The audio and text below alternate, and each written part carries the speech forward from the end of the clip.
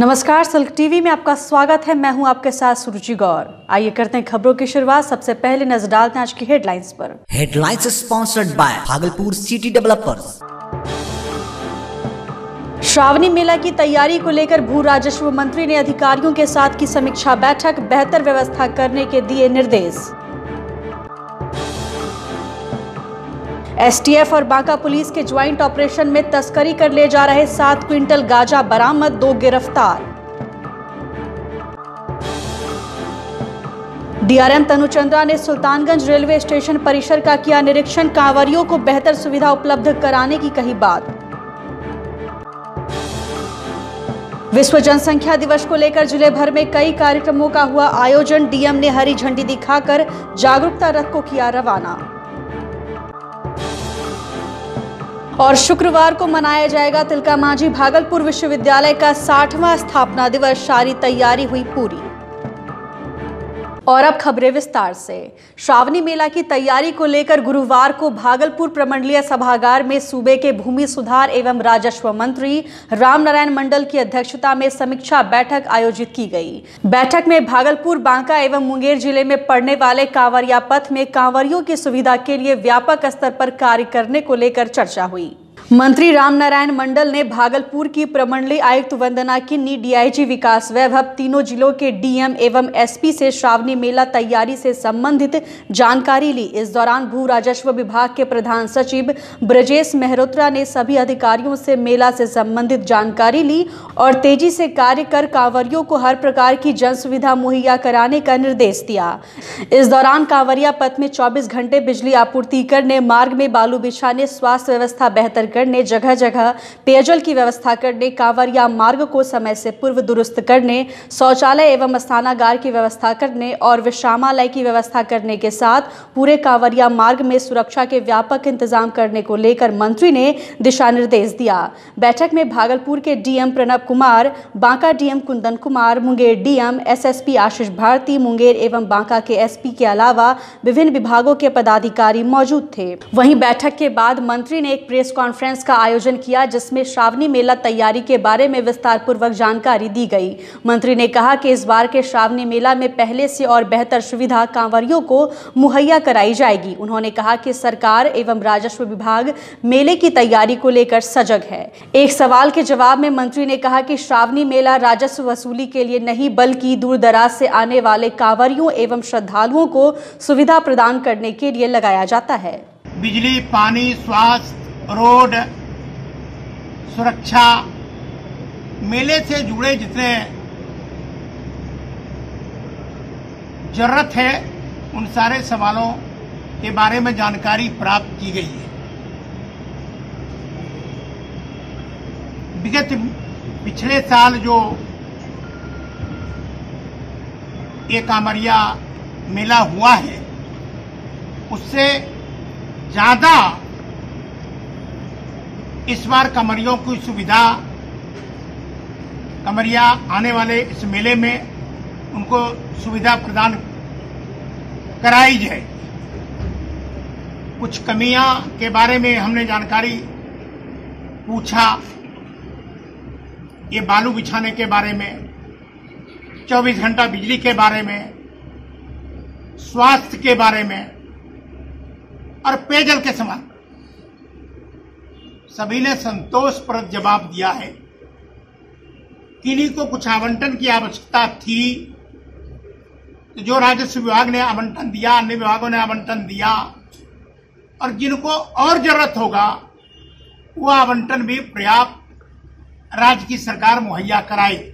Banka police एवं STF के joint operation में बड़ी सफलता हाथ लगी है। बौसी बाज़ार के समीप गुप्त सूचना के आधार पर कार्रवाई करते हुए पुलिस ने इकहत्तर पैकेट में बंद सात क्विंटल गांजा को बरामद किया है। बरामद गांजा की कीमत लगभग एक करोड़ बताई जा रही है। पुलिस ट्रक ड्राइवर को गिरफ़्तार कर पूछताछ में जुटी है। बताया जा रहा है कि श्रावणी मेला को देखते हुए तस्करों के द्वारा गांजा की बड़ी खेप मंगाई गई थी। पुलिस ने गुप्त सूचना के आधार पर झारखंड की ओर से आ रही ट्रकों को रोककर तलाशी अभियान चलाया। इस दौरान एक ट्रक से इकहत्तर पैकेट गांजा को बरामद किया गया है। डीएसपी मुख्यालय संजय कुमार एवं बाराहाट सीओ की मौजूदगी में जब्त गांजे को सील किया गया। वहीं पुलिस ड्राइवर से पूछताछ में जुट गई है। हम आपको बता दें कि सावन महीने में गांजा की खपत कांवरिया क्षेत्र में बढ़ जाती है। विश्व प्रसिद्ध श्रावणी मेला की तैयारी को लेकर डीआरएम तनुचंद्रा ने सुल्तानगंज स्टेशन का निरीक्षण किया। इस दौरान स्टेशन परिसर में पानी व शौचालय को दुरुस्त रखने का निर्देश दिया गया। एवं प्लेटफॉर्म एवं रेलवे ट्रैक की व्यवस्था को जल्द से जल्द ठीक करने का निर्देश दिया। साफ़ सफ़ाई को मद्देनजर रखते हुए जल्द से जल्द सफ़ाई करने का निर्देश दिया गया है। इस दौरान रेलवे के तमाम अधिकारियों के साथ बैठक भी की गई। बैठक के दौरान श्रावणी मेला की विधि व्यवस्था की जानकारी डीआरएम ने ली। इस दौरान मीडिया को बताया कि पिछले वर्ष की भांति इस वर्ष जल मीनार की पानी क्षमता एवं शौचालय की भी व्यवस्था को बढ़ा दी गई है। लाइटिंग की भी बढ़ोतरी की गई है। सुरक्षा में सौ से अधिक पुरुष पुलिस बल एवं महिला पुलिस बल की तैनाती की जाएगी। स्टेशन परिसर में डॉक्टर की नियुक्ति चौबीसों घंटे रहेगी तथा एंबुलेंस की व्यवस्था भी रहेगी। इस मौके पर station master Sunil Kumar, Deepak Kumar, RPF incharge Anil Kumar Singh एवं रेलवे के तमाम विभाग के अधिकारी मौजूद थे। विश्व जनसंख्या दिवस को लेकर गुरुवार को DM Pranab Kumar, DDC Sunil Kumar, SDO Ashish Narayan और सिविल सर्जन विजय कुमार सिंह ने हरी झंडी दिखाकर जागरूकता रथ को रवाना किया। जनसंख्या दर नियंत्रण हो सके इसके लिए जागरूकता रथ एक पखवाड़े तक ज़िले के विभिन्न ग्रामीण क्षेत्रों में जाकर लोगों को परिवार नियोजन के प्रति जागरूक करेगा। डीएम ने कहा कि तेज़ी से बढ़ रही जनसंख्या समाज के विकास में बाधक है और दंपत्ति की सेहत पर भी इसका प्रतिकूल प्रभाव पड़ता है। 11 जुलाई विश्व जनसंख्या दिवस के रूप में हम लोग मनाते हैं और हम लोग चाहते हैं कि जनसंख्या पर पर्याप्त नियंत्रण हो और दो दम, एक दंपत्ति दो बच्चे, ये जो कॉन्सेप्ट है, इसको हम लोग लागू कराना चाहते हैं। इसके लिए पंद्रह दिनों तक एक पखवाड़े तक ये प्रचार वाहन लगातार हर एक गाँव में जा कर के और लोगों को जागरूक करेगा कि दो बच्चे से अधिक जो है, वो सेहत के लिए भी ठीक नहीं है और पूरी तरह से सामाजिक जो विकास है, उसके लिए भी ठीक नहीं है। तो लोगों में परिवार नियोजन को लेकर के जागरूकता अभियान फैलाने के उद्देश्य से विचार वाहन चलाया वहीं भागलपुर मारवाड़ी कॉलेज में एनएसएस के द्वारा विश्व जनसंख्या दिवस पर सेमिनार का आयोजन किया गया। सेमिनार में प्राचार्य doctor Gurudev Kumar, doctor Anil Kumar Tiwari, doctor Praveen Kumar Sinha ने अपने अपने विचार प्रकट किए। प्राचार्य ने कहा कि जनसंख्या की गुणवत्ता अधिक महत्वपूर्ण है और स्वयंसेवक इसको लेकर आमजनों में जागरूकता फैला रहे हैं। वहीं कार्यक्रम के दूसरे भाग में आर्थिक विकास में जनसंख्या का योगदान विषय पर भाषण प्रतियोगिता आयोजित की गई, जिसमें एनएसएस की मुस्कान खातून, गौरव कुमार, जूही कुमारी समेत कई स्वयंसेवकों ने भाग लिया। सफल प्रतिभागियों को एनएसएस के कार्यक्रम पदाधिकारी डॉक्टर आशीष मिश्रा ने मोमेंटो देकर सम्मानित किया। मौके पर डॉक्टर स्वस्तिका दास, राम सेवक सिंह समेत कई शिक्षक और छात्र छात्रा मौजूद थे। आज जो है राष्ट्रीय सेवा योजना मारवाड़ी महाविद्यालय भागलपुर के द्वारा विश्व जनसंख्या दिवस पे कार्यक्रम आयोजित किया गया है, जिसमें सेमिनार है। ढेर सारे बच्चे इसको जागरूक करना है, क्योंकि उन्नीस सौ सतासी में आज ही के दिन विश्व की जनसंख्या पाँच अरब से ज़्यादा हो चुकी थी, जिससे चिंतित होकर के सब लोगों ने इसको आज ही का दिन तय किया और इस पे विश्व जनसंख्या दिवस पर सब लोग को जागरूक करना है कि जनसंख्या को किस तरीके से कंट्रोल करते हुए आर्थिक विकास करें और दोनों के बीच एक संतुलन बनाए रखें। तिलका मांझी भागलपुर विश्वविद्यालय का साठवां स्थापना दिवस शुक्रवार को मनाया जाएगा। इसको लेकर सभी तैयारी पूरी कर ली गई है। गुरुवार को डीएसडब्ल्यू कार्यालय में कर्मचारी मनीष सुदर्शन, बलराम सिंह समेत कई कर्मी स्थापना दिवस समारोह को लेकर आमंत्रण कार्ड, विभिन्न कॉलेज पीजी विभाग, सिंडिकेट, सीनियर सदस्य समेत छात्र संघ के प्रतिनिधियों को भेजते दिखे। वहीं दूर दराज के लोगों को डीएसडब्ल्यू डॉक्टर योगेंद्र महतो ने मोबाइल से सूचना दी। कार्यक्रम का आयोजन विश्वविद्यालय के सीनेट हॉल में होगा। रजिस्ट्रार कर्नल अरुण कुमार सिंह एवं वित्त परामर्शी पदम कांत झा ने बताया कि समारोह के दौरान विश्वविद्यालय और संबंध इकाई से अवकाश ग्रहण करने वाले 16 शिक्षकेतर कर्मचारियों को, जबकि डीएसडब्ल्यू डॉक्टर योगेंद्र महतो ने कहा कि तिलका मांझी भागलपुर विश्वविद्यालय की स्थापना 12 जुलाई 1960 ईस्वी को हुई थी। दरअसल 12 जुलाई 1960 को विश्वविद्यालय स्थापित हुआ। ये साठवां स्थापना दिवस है। तो परंपरा के अनुसार तिलका मांझी के नाम पर यह विश्वविद्यालय है। शहीद तिलका मांझी के नाम पर। तो पहले माल्यार्पण उनका होता है और फिर कुल ध्वज फहराया जाता है। फिर हम लोग सीनेट हॉल में जमा होते हैं और जो हमारे अतिथि होते हैं, विश्वविद्यालय के पदाधिकारी होते हैं, शिक्षक संघ के नेता होते हैं, विभिन्न प्रिंसिपल्स और विभागाध्यक्ष होते हैं, डीन होते हैं, वो अपनी अपनी राय विश्वविद्यालय को कैसे बेहतर किया जाए और क्या प्राप्त हुआ आज तक इसके लिए हम लोग बातचीत करते हैं। ज़मीन विवाद को लेकर भागलपुर के लोदीपुर थाना क्षेत्र खुटहा में चचेरे भाई ने रिटायर्ड आर्मी जवान की गोली मारकर हत्या कर दी।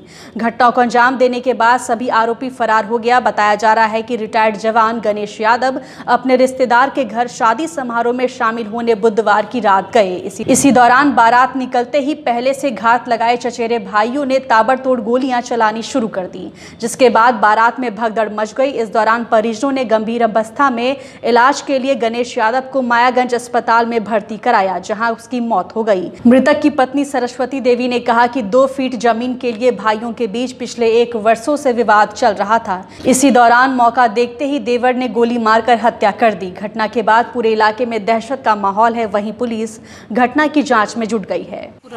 कोई सुविधा रहे तब ना पहुँच जाएँगे। तो हम नहीं पहुँचे।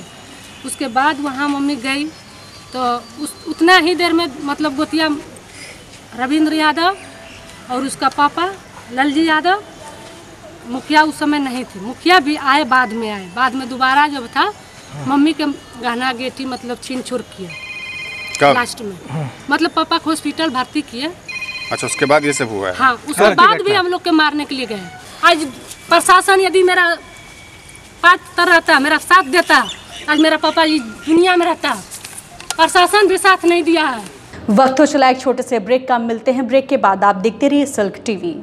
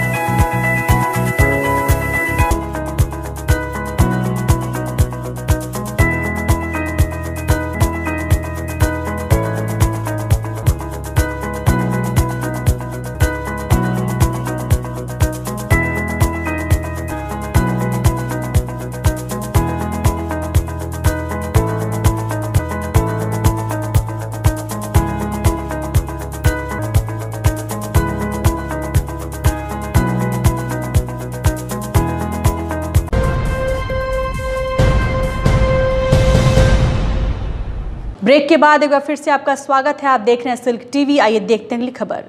भागलपुर में बिजली विभाग की लापरवाही के कारण एक मजदूर की करंट लगने से मौत हो गई। दरअसल, तेज बारिश के कारण जर्जर हो चुका बिजली का तार टूटकर गिर रहा है। बबरगंज थाना क्षेत्र के वारसलीगंज निवासी 50 वर्षीय अशोक यादव बुधवार की रात मजदूरी कर वापस अपने घर लौट रहा था। इसी दौरान करंट प्रवाहित तार पोल से टूटकर नीचे गिर गया, जिसकी चपेट में आकर मौके पर ही अशोक यादव की मौत हो गई। गुरुवार की सुबह स्थानीय लोगों ने पानी में पड़े मृतक के शव को देखा जिसके बाद इसकी सूचना परिजनों एवं पुलिस को दी गई। मृतक के पुत्र ने कहा कि जर्जर हो चुके तार को बिजली विभाग नहीं बदल रहा है, जिसके कारण यह घटना हुई है। परिजनों ने जिला प्रशासन से सहायता राशि देने की मांग की है।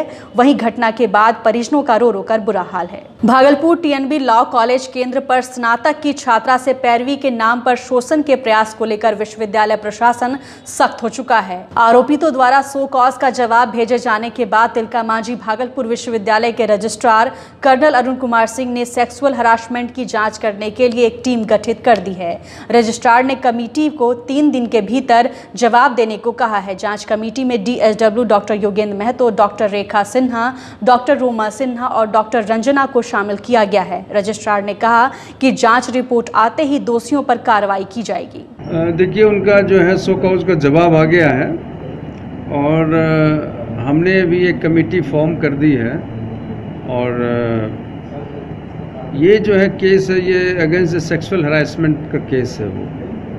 तो हमने वो उस कमेटी में हम दे रहे हैं और एक दो दिन में कमेटी मुझे जवाब दे देगी और अकॉर्डिंगली कार्रवाई की जाएगी उनको भागलपुर नगर निगम परिसर में गुरुवार को सफ़ाई कर्मियों ने अपनी मांगों के समर्थन में नगर निगम प्रशासन के खिलाफ जमकर नारेबाजी की। इस दौरान कर्मचारियों ने नगर निगम प्रशासन से बकाया वेतन भुगतान करने, निगम के भ्रष्टाचारियों को सस्पेंड करने, पटना नगर निगम की तर्ज पर सफ़ाई कर्मियों एवं दैनिक मजदूर को राशि भुगतान करने एवं सातवें वेतन लागू करने की मांग की। इस मौके पर काफ़ी संख्या में दैनिक मजदूर एवं सफ़ाई कर्मचारी मौजूद थे। सफ़ाई कर्मचारी से लेकर डेली बेज दोनों मिल के इस बार हड़ताल किया गया।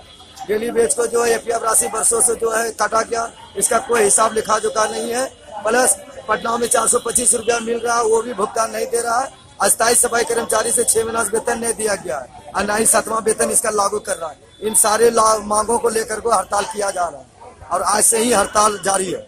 तिलका मांझी भागलपुर विश्वविद्यालय में 28 जून को बीकॉम पार्ट थ्री परीक्षा के प्रश्न पत्र लीक मामले में सेटर सह पीजी कॉमर्स के वरीय शिक्षक डॉक्टर डी एन शाह ने कहा कि कुछ अधिकारी उन्हें जानबूझकर फंसाने का प्रयास कर रहे हैं। क्वेश्चन आउट का जहाँ तक सवाल है, मैंने जो क्वेश्चन सेट करके दिया था, मेरे सेट में क्वेश्चन नंबर सिक्स में मैंने वहाँ एज लिखा था। मोडेशन बोर्ड में काट उसको इरा किया गया। और क्वेश्चन जो आउट हुआ, उसमें इरा कह करके आउट है। तो इस, स्पष्ट है कि उसमें हम कहीं दूर दूर तक नहीं है। मोडेशन बोर्ड में हम थे भी नहीं। मोडेशन बोर्ड का हमको जानकारी भी नहीं थी मोडेशन बोर्ड की बैठक कब हुई, कब, किस समय में हुई, कोई जानकारी मुझे नहीं थी। इसलिए उस स्पष्ट है कि वो मेरा क्वेश्चन आउट नहीं है। मॉडरेशन के बाद ये क्वेश्चन आउट हुआ है, चाहे जहाँ से भी आउट हुआ है। मॉडरेशन बोर्ड से हुआ हो, या सेंटर से हुआ हो, या यूनिवर्सिटी से हुआ हो, या प्रेस से हुआ हो। और जहाँ तक मेरे ऊपर यह प्रश्न किया जाता है कि मुझे गुना भाग नहीं आता है, कुछ अधिकारी का यह कहना है। मैं 40 वर्षों से अकाउंट्स का टीचर हूँ। और अकाउंट्स का मैं बैकबोन माना जाता हूँ भागलपुर विश्वविद्यालय का। आज कॉमर्स खड़ा है तो मेरे मेरे कारण कॉमर्स खड़ा है भागलपुर विश्वविद्यालय में। और यह कहता है कि नहीं जानता है तो यह दुर्भाग्य है उसके लिए। मैं तो कहता हूँ, वो आदमी मिले हमसे जो कहता गुना भाग नहीं जानता है। मैं उसको वर्षों पढ़ा सकता हूँ, दिन की बात तो छोड़ दिया जाए। नौगछिया थाना क्षेत्र के गौशाला रोड स्थित किराना व्यवसायी प्रदीप भगत से अपराधियों ने दिन दहाड़े हथियार के बल पर रंगदारी देने की मांग की। वहीं विरोध करने पर अपराधियों ने व्यवसायी की जमकर पिटाई कर दी। इसके बाद अपराधी हवाई फायरिंग करते हुए फरार हो गया। स्थानीय लोगों ने घटना की सूचना पुलिस को दी, जिसके बाद मौके पर पहुँचे थाना प्रभारी राज कपूर कुशवाहा ने घायल व्यवसायी से घटना के संबंध में जानकारी ली। इस दौरान पुलिस ने घटनास्थल से खाली खोखा बरामद किया है। पुलिस ने मामला दर्ज कर घायल को इलाज के लिए अनुमंडल अस्पताल में भर्ती कराया है। इस घटना के बाद व्यवसायियों में दहशत का माहौल देखा जा रहा है। वहीं पुलिस ने घटना में शामिल अपराधियों को जल्द गिरफ़्तार कर लेने की बात कही। 26 जून को अंतर्राष्ट्रीय मध्य निषेध दिवस मनाया जाता है। इसी को लेकर 15 दिनों तक राज्य भर में जागरूकता अभियान चलाया गया। गुरुवार को पखवाड़ा के समापन पर ज़िले के सभी पुलिस कार्यालय एवं पुलिस केंद्रों में वृक्षारोपण अभियान चलाया गया। एसएसपी आशीष भारती ने पुलिस केंद्र में वृक्षारोपण कर युवाओं से पर्यावरण की रक्षा करने एवं नशा से दूर रहने का संदेश दिया। एसएसपी ने कहा कि जागरूकता अभियान के दौरान ऑडियो वीडियो वैन के द्वारा पूरे राज्य में लोगों को जागरूक किया गया था, जिससे पर्यावरण के प्रति लोग जागरूक हो सके। वहीं भागलपुर के मुजाहिदपुर थाना परिसर में भी इंस्पेक्टर राम इकबाल यादव ने वृक्षारोपण किया। इस दौरान पुलिस कर्मियों के सहयोग से आम व नीम का पौधा लगाया गया और पूरे साल पौधे की देखभाल करने, पर्यावरण संरक्षण एवं नशा मुक्त समाज बनाने की बात कही गई। मुजाहिदपुर थाना अध्यक्ष इंस्पेक्टर राम इकबाल यादव ने कहा कि मध निषेध को लेकर पौधा लगाया गया है और पर्यावरण संरक्षण के साथ शराब का सेवन नहीं करने और दूसरों को भी नहीं करने देने की शपथ दिलाई गई है। हाँ कि आज ग्यारह सात उन्नीस को मद निषेध के अवसर पर एक वृक्ष लगाना है, जिसमें इस वृक्ष को अगले साल जो शपथ पुलिस कर्मियों की होगी तो इसी पेड़ के नीचे शपथ होगी, जब भी होगी तो ये याद करने के लिए कि एक एक पौधा लगाया गया तो पर्यावरण के लिए भी हो गया और मद्य निषेध का याद भी रहेगा कि हाँ हम शराब के कारोबार को नहीं होने देंगे न पीने पिएँगे न पीने देंगे। वहीं विश्वविद्यालय थाना परिसर में मद्य निषेध दिवस को लेकर थाना अध्यक्ष संजय कुमार सत्यार्थी एएसआई अरुण कुमार सिंह आमोद कुमार लक्ष्मी कुमारी आनंद प्रकाश व सामाजिक कार्यकर्ताओं ने आम नींबू और फूल के कई पौधे लगाए। मौके पर कामेश्वर यादव मानिक पासवान भगवान यादव समेत कई लोग मौजूद थे। आज जो है वृक्षारोपण का कार्यक्रम किया गया। आपके विश्वविद्यालय थाना अध्यक्ष महोदय के सौजन से। इसके लिए हम लोगों को आमंत्रण किए गया, किया गया। ये आपके शांति समिति की ओर से मैं खासकर उनको बहुत बहुत धन्यवाद देता हूँ, साधुवाद देता हूँ। और साथ ही साथ मैं इस आपके ज़रिए, आपके माध्यम से ये भी कहना चाहता हूँ, मेरा आग्रह है कि और भी थाना में जो भी अपना अपना एक पेड़ लगावे तो ये समाज और ये शहर और ये देश का बहुत उन्नति होगा। भागलपुर क्रिएशन ट्रेडिंग की ओर से स्थानीय होटल में प्रमाण पत्र वितरण समारोह का आयोजन किया गया। समारोह का शुभारंभ रेंज डीआईजी विकास वैभव, सामाजिक कार्यकर्ता प्रकाश चंद्र गुप्ता, क्रिएशन की संचालिका मेधा झुंझुनवाला, उत्तम झुंझुनवाला एवं डीएसएम नवीन कुमार ने दीप प्रज्वलित कर किया। इसके पूर्व आगत अतिथियों का स्वागत संस्था के संस्थापक शंभु झुंझुनवाला ने बुके और अंगवस्त्र देकर किया। कार्यक्रम में मुख्यमंत्री सात निश्चय योजना के अंतर्गत संचालित कुशल युवा कार्यक्रम की पढ़ाई पूरी करने वाले इकतालीस छात्र छात्राओं को डीआईजी विकास वैभव ने प्रमाण पत्र दिया और क्रिएशन के कार्यों की जमकर प्रशंसा की। डीआईजी ने कहा कि युवाओं को सफल होने के लिए सजग रहना पड़ेगा। साथ ही डीआईजी ने महाभारत में वर्णित तीन मछलियों की कहानी सुनाकर युवाओं को प्रेरित भी किया। वहीं संचालक उत्तम झुंझुनवाला ने कहा कि आज भी युवाओं में व्यवहारिक ज्ञान की कमी है। मंच संचालन कुणाल कुमार नटवर ने किया। युवाओं के बीच आकर अच्छा इसलिए लगता है क्योंकि पूरा भविष्य अभी बाकी है और आज जो आप करेंगे, जो निर्णय लेंगे, जो भी आप सोचेंगे, उस पर चलेंगे, आने वाले भविष्य में इसका बहुत बड़ा प्रभाव न केवल आपके जीवन में पड़ेगा, लेकिन पूरे समाज को और पूरे राष्ट्र को उसका फ़र्क पड़ेगा। हर बार की तरह इस बार भी क्रिएशन ट्रेडिंग में कुशल युवा प्रशिक्षण प्राप्त कर चुके लगभग 40 छात्र छात्राओं को आज हमारे डीआईजी सर श्री विकास वैभव जी के द्वारा प्रमाण पत्र देकर सम्मानित किया गया। माननीय मुख्यमंत्री जी का यह प्रोग्राम अब अपना परिणाम दिखाने लगा है, जिसका उदाहरण है कि हमारे सेंटर से ही लगभग डेढ़ से ऊपर छात्र छात्राएँ रोज़गार प्राप्त कर चुके हैं। ये छात्र छात्राएँ विभिन्न कंपनियों में हैं जिनमें टी सी एस टाटा संपन्न विभिन्न मीडिया हाउसेस जैसी नामचीन कंपनियाँ शामिल है। इन कंपनियों ने इन बच्चों के हुनर को न सिर्फ़ सराहा है बल्कि विभिन्न रोज़गार भी प्रदान किया है। और अंत में चलते चलते एक बार फिर से नज़र डालते हैं आज की हेडलाइंस पर। Headlines sponsored by Bhagalpur city developers Shravani Mela की तैयारी को लेकर भू राजस्व मंत्री ने अधिकारियों के साथ की समीक्षा बैठक बेहतर व्यवस्था करने के दिए निर्देश। एसटीएफ और बांका पुलिस के ज्वाइंट ऑपरेशन में तस्करी कर ले जा रहे सात क्विंटल गांजा बरामद, दो गिरफ़्तार। डीआरएम तनुचंद्रा ने सुल्तानगंज रेलवे स्टेशन परिसर का किया निरीक्षण, कांवरियों को बेहतर सुविधा उपलब्ध कराने की कही बात। विश्व जनसंख्या दिवस को लेकर ज़िले भर में कई कार्यक्रमों का हुआ आयोजन, डीएम ने हरी झंडी दिखाकर जागरूकता रथ को किया रवाना। और शुक्रवार को मनाया जाएगा तिलका मांझी भागलपुर विश्वविद्यालय का साठवां स्थापना दिवस। सारी तैयारी हुई पूरी। फ़िलहाल इस बुलेटिन में इतना ही। नमस्कार।